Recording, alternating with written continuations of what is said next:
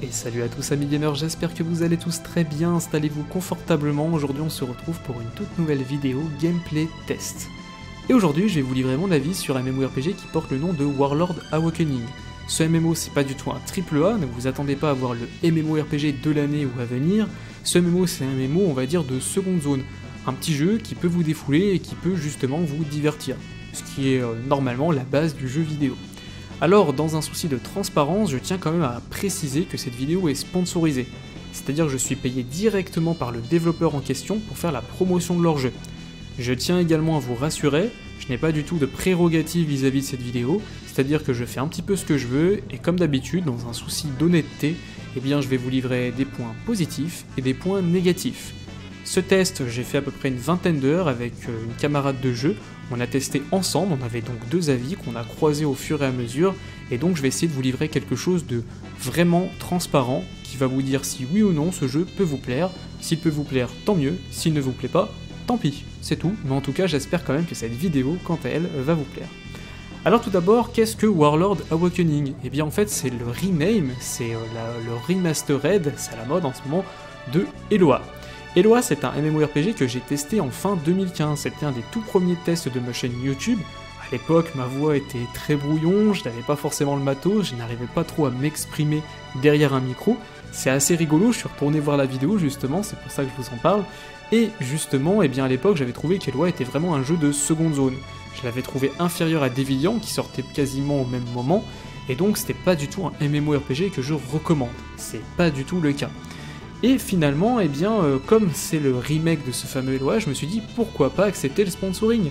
Ça permet tout simplement de me rappeler euh, quelques petits souvenirs, côté nostalgie, et en même temps, ça va me permettre de voir ce qui a évolué, ce qui est plus positif maintenant, peut-être pire, ce qui finalement s'est aggravé. Maintenant que les bases sont posées, eh bien, je vous propose tout simplement de passer à la vidéo, donc je vous souhaite d'ores et déjà un très bon visionnage, à tout de suite. Et donc les amis, je vous propose de commencer cette vidéo en expliquant ce qu'est Warlord Awakening. Il s'agit là d'un MMO ARPG, c'est-à-dire un MMORPG action, c'est-à-dire un MMO qui incorpore une dimension hack and slash dans son gameplay. Donc là dit comme ça, ça peut être un petit peu compliqué pour certaines personnes. Qu'est-ce que finalement un MMORPG hack and slash? Eh bien comme tout MMO, ce type de jeu va incorporer une liste sociale, des quêtes, un système de progression qui recommande fortement de jouer en groupe, des guildes, des montures, des pets, du craft, mais également d'autres aspects qu'on retrouve un peu plus classiquement comme des classes, le fait de monter un personnage et de choisir un build. Donc ça c'est ce qu'on retrouve sur quasiment tous les MMORPG et qu'on retrouve dans ces fameux MMOARPG. Mais là où ça se distingue, c'est souvent sur d'autres aspects. La caméra, qui est un petit peu plus haute en général, mais qu'on peut incliner tout de même. Il y a également le fait qu'on va bash des mobs de manière beaucoup plus grande, Genre, il va falloir beaucoup d'AOE parce qu'on va faire des hordes et des hordes et des hordes de mobs. Le gameplay en général est plus fluide, plus nerveux. Bref, ça envoie du lourd. Et donc, on peut se demander parfois, même j'ai envie de partir un petit peu là-dessus, si BDO n'est pas finalement un MMO ARPG par certains aspects. En bref, c'est un style de jeu qui est beaucoup plus axé sur le bash de mobs, sur le gameplay, que plutôt sur les relations entre joueurs et sur l'aspect massif que pouvait offrir à l'époque le MMO, c'est-à-dire avec ses raids, avec également eh bien, ses events, avec ses world boss, avec son PVP de masse. Là, on est sur quelque chose de plus classique, avec quand même du PVP, mais en plus petite échelle, avec quand même du PVE, mais en plus petite échelle, etc. etc. Bref, c'est ce site de jeu qui est Warlord Awakening. Warlord Awakening, il est payant, il coûte 10 euros. La version Eloa, quant à elle, était gratuite, mais il y avait une boutique pay to win derrière. Bah oui, il y a toujours quelque chose. Je trouve que 10 euros, c'est pas un prix très correct. Pour ma part, j'estime qu'il devrait être plutôt à 5 voire 3 euros. Parce que c'est pas du tout un MMO euh, hyper fandard. Vous avez Black Desert Online qui coûte 10 euros par exemple, qui vaudra peut-être plus le coup. Mais mine de rien, il peut intéresser certaines personnes, ceux qui ont une petite config, qui veulent le faire tourner un petit peu partout. Alors 10 euros, c'est peut-être un petit prix un petit peu trop cher, mais en tout cas c'est toujours mieux que d'avoir un pay to win dégueulasse derrière lorsqu'on veut un minimum s'investir dans le jeu.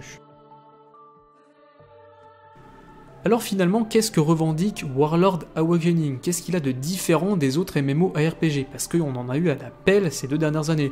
On a eu encore une fois Eloa, Mu Legend, on a eu également, eh bien, Devilliant, et puis il y a Lost Ark qu'on attend, peut-être le projet TL qui sera dans ce style-là. Bref, il y a énormément de jeux qui se ressemblent, et qu'est-ce que Eloa a concrètement à nous offrir Eh bien tout d'abord on a un système de classe et un système de combat qui peut être un petit peu différent de ce que l'on connaît sur d'autres jeux. Là, vous avez des classes plutôt lambda à première vue, mais qui ont chacun un style de jeu qui va être assez particulier. Donc tout d'abord, vous avez la classe du guerrier, guerrier lambda qui peut tanker DPS physiquement. Vous avez également la classe du ranger qui peut alterner entre canon, arc et machine gun. Vous avez également la classe du mage, vous avez aussi le psychique qui est le healer euh, qui peut également euh, pas mal faire de DPS de zone, poser des serviteurs. Et pour terminer, vous avez le fameux assassin. Bref, des classes qu'on retrouve sur quasiment tous les jeux, mais là où Eloa va se distinguer, c'est que vous allez allier trois types d'armes à la fois par classe. En fait, sur chacune de vos armes, vous avez des sorts qui leur sont associés. Et vous allez devoir en plein combat switch d'armes pour faire des enchaînements de combos. C'est là où ça va dynamiser un petit peu la chose. C'est-à-dire plutôt que d'avoir un seul type d'arme et toujours faire le cycle toujours de la même manière, là vous allez avoir trois armes et vous allez devoir switch entre les armes pour pouvoir être optimisé. En plus de ça, vous allez devoir faire des choix de sorts dans vos armes, parce que vous n'avez pas assez de slots disponibles pour prendre tous les sorts.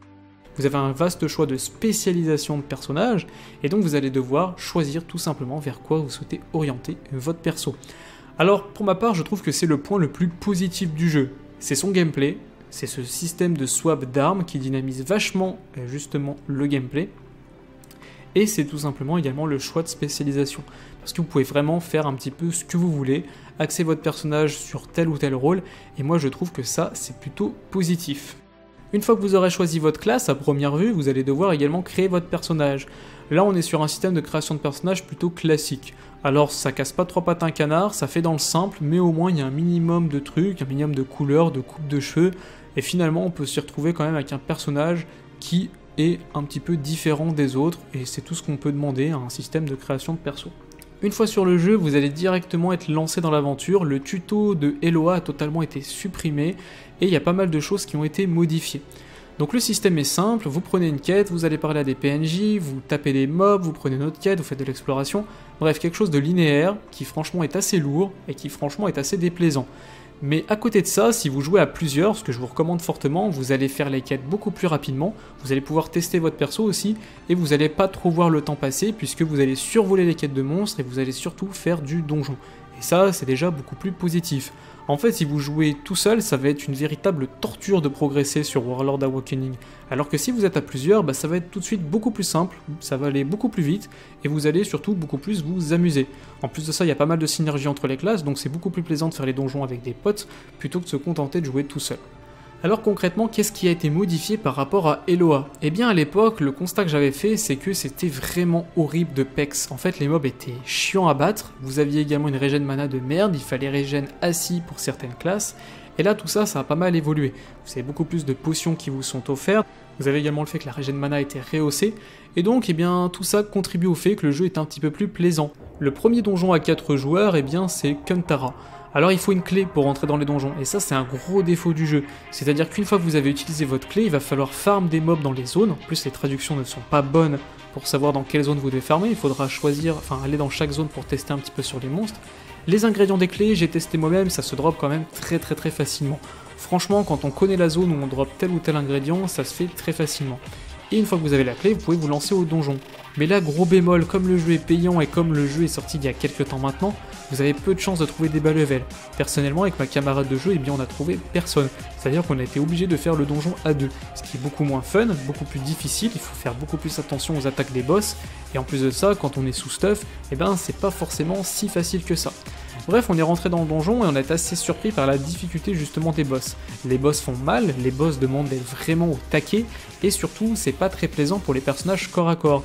Moi étant un psychique dans ce cas-là, eh bien je n'avais pas trop de mal, je posais mes serviteurs, je tapais à distance et de temps en temps je venais mettre des coups de cac. Mais quand on joue un personnage corps à corps, c'est beaucoup plus compliqué. En effet, la moindre attaque au corps à corps peut limite vous OS. Donc il faut faire très très très attention. Alors bien entendu, je dis ça, mais si vous profitez du système de craft, qui vous permet de craft tout simplement une armure gold level 25 assez facilement, eh bien vous ferez le donjon peut-être dans de meilleures conditions. Mais de base, le donjon est prévu à 4 joueurs et il n'y a pas assez de joueurs sur le jeu, en tout cas de ce que j'en ai vu à bas niveau, pour pouvoir remplir efficacement un groupe. Donc là, vous voyez à l'écran, j'ai décidé de vous montrer un boss que j'ai euh, limite soloté, que j'ai soloté d'ailleurs. Donc c'est le boss final du donjon. Ma classe psychique est une sorte de classe euh, hybride, un petit peu heal, qui fait gladiateur aussi, j'ai envie de dire. C'est une classe que j'ai beaucoup aimé en termes de gameplay. Et franchement, quand on arrive à bien jouer avec, eh bien ça donne des résultats plutôt positifs, vous voyez à l'écran. Donc le boss, il a quand même des mécaniques qui lui sont propres, il y a quand même de la strat derrière, c'est assez recherché, c'est le premier donjon à 4 du jeu, et mine de rien, eh ben, ça envoie quand même quelque chose d'assez positif. Donc pour ma part, je l'ai fait, tout simplement parce que ma camarade a dû partir et donc je l'ai terminé un petit peu solo. Mais euh, j'ai euh, trouvé du positif dans ce gameplay. Finalement, j'ai été obligé de mettre mes doigts sur le clavier. Ça fait longtemps que sur certains mémos, j'avais plus besoin de mettre mes doigts. Et donc c'est toujours positif de voir ça. Voilà les amis, c'est d'ores et déjà la fin de cette vidéo, j'espère que celle-ci vous aura plu. Si c'est le cas, n'hésitez pas à mettre un pouce vers le haut et à vous abonner si c'est pas déjà fait. Si vous avez envie de poser des questions sur Warlord Awakening, n'hésitez pas à le faire dans la section commentaires, je suis disposé à répondre à chacun d'entre vous. Si vous avez envie de me poser des questions plus particulières sur le sponsoring, sur certaines choses, n'hésitez pas également, franchement, euh, je n'ai rien à cacher, vous pouvez me poser toutes sortes de questions, je suis prédisposé à y répondre. Voilà, sur ce, je vous souhaite à tous de passer une agréable journée, soirée, portez-vous bien, à très bientôt, et puis comme d'habitude, bon jeu